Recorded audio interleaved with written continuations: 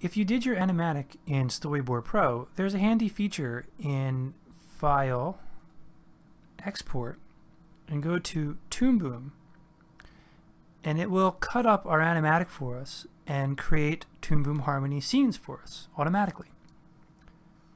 So the first thing we do when we are at our Export to Toon Boom options is we can pick a path by clicking this folder, and this will tell Storyboard Pro where to export our Harmony scenes for us.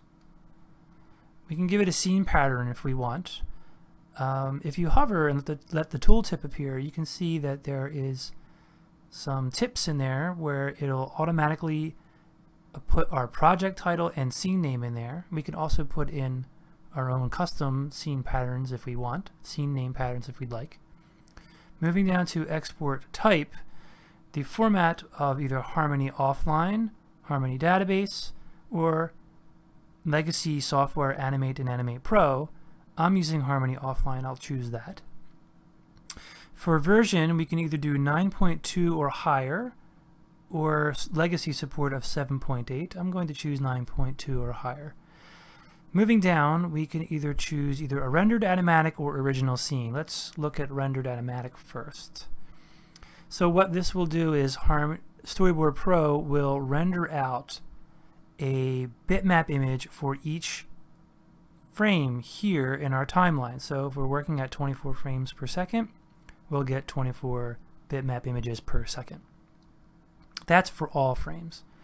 The next option down here is one frame each and we can tell it how many frames. So that means right now by default it's set to two.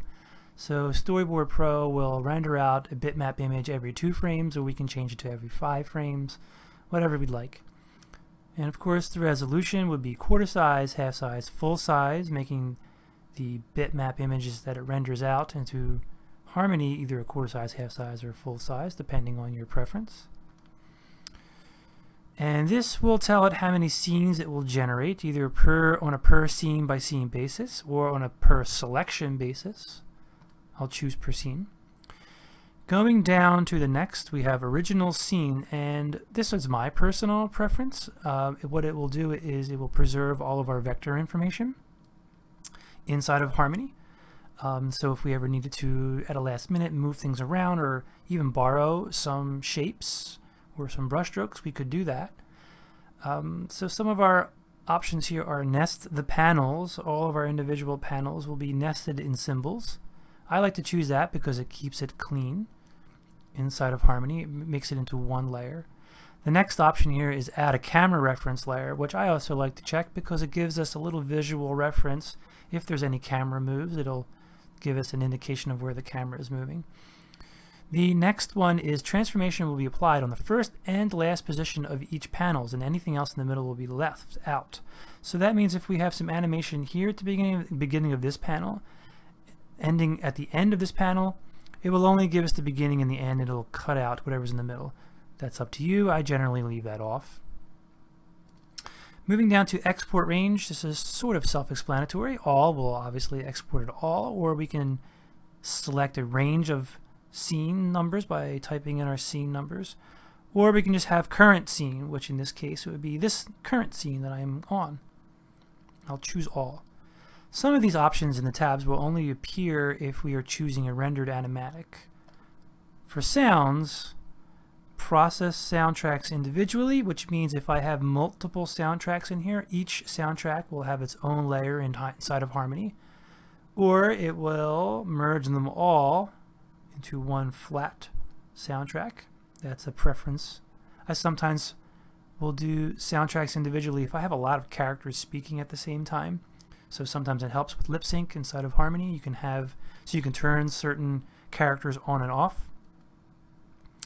File pattern, again, very similar to our scene pattern at the top. If you hover and let the tooltip appear, it'll give you some guidelines about, you can type in the project name, it'll automatically put in the project name, scene name, soundtrack number, etc. The sample rate, the bit depth, and our channels are also here for us to choose. Burn-in will only be available to us if we choose rendered animatic, and if we check off these options, it will burn in a time code for us. Uh, it can also burn in scene numbers or panel numbers for reference sake, and it could also print in additional duration. As well as camera grids are also only available in rendered animatic. So it'll give us our project safety, a three, four by three safety, and also a four by three reference referring to our aspect ratio of our of our camera. And once we have all of these set to our liking, we can hit export and Harmony uh, Storyboard Pro will export our Harmony scenes, which I have incidentally already done. So when we go into Harmony, when we open our scene from our machine, the first thing Harmony will do is it will, don't be alarmed if you see this box, it's just finding the colors and loading them up as a color palette. So if I'll hit yes, and if I let it play through, it'll probably start to find more, and I'll let it just run through my animatic and just find all of those colors. Let it find it for us. If I hit do not ask again for the session, it won't ask me again. I'll hit yes, and it will find all of the colors, and here is my animatic. Lovingly preserved in Harmony, and now easily accessible and easily hideable if I need to re refer to it as I animate.